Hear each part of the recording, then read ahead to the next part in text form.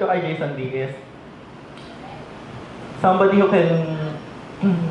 Oh, English. Ayoko. Wala akong maisip.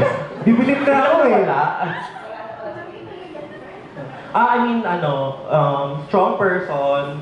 Um, tapos, ano, ang dami-dami nating tao doon. Pero napapansin namin yung aura mo, napapansin namin yung... Al- alam mo yon parang um, very siyang strong personality na kuma na in a room, manonotice mo siya na alam mong hindi dahil siya yung nanalo or whatever. I mean, I'm, I'm saying, I'm telling everybody na Jason D is somebody na Hmm,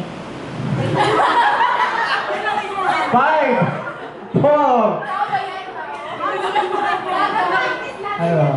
more than kung ano yung pinapakita niya on TV.